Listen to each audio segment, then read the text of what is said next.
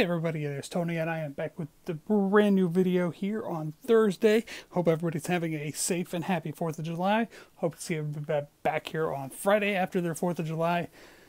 I know a lot of people are taking vacations, but this is what I got for today's 4th of July video. A limited edition Fleer Baseball's Best Sluggers versus Pitchers.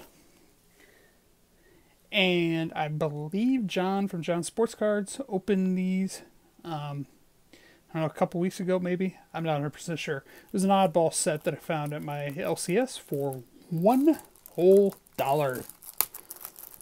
Open these up if I can. These are super secure. Super secure. Alright. Finally got the the 30 year old plastic off. All right. Logos and stickers are in here. Some cards. Those are stickers. Texas Rangers. Chicago White Sox. Detroit Tigers. All right. Sluggers versus pitchers.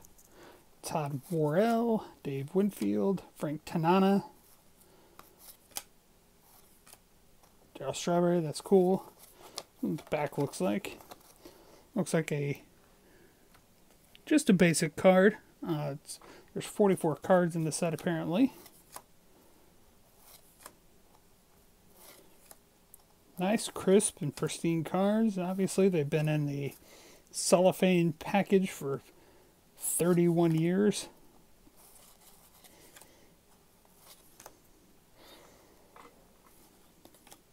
For a dollar, I couldn't pass these up.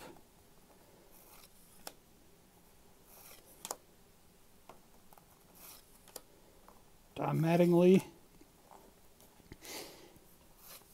Found out a couple weeks ago the only reason why Don Mattingly was allowed to have a mustache is because Yankees allow mustaches. They don't allow beards, which is still interesting. Danny Jackson. Pete Incaviglia, Orel Hershiser, Oop. Ted Higuera.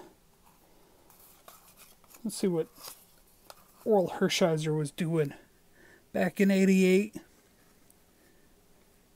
He had four major league saves. That's pretty cool.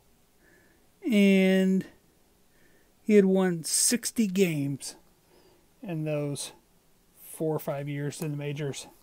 Tony Gwynn, Pedro Guerrero, Doc Gooden, what could have been, Andres Galarraga, Dennis Eckersley, Andre Dawson, Glenn Davis, Eric Davis, Roger Clemens, Will Clark, Joe Carter, World Series hero, Jose Canseco, Ellis Burks, Tom Brunansky.